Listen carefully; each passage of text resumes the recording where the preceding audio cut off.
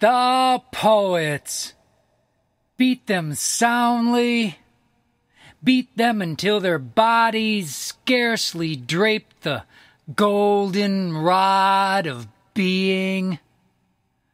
Drag them back and forth across the continent of this vast land, and up and down through the various paths of the sun.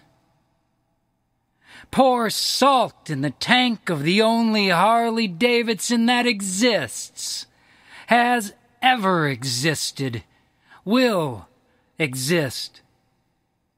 Listen to the pistons shriek blindly, petitioning the walls to go away. Death Valley is cool compared to my dreaming eye.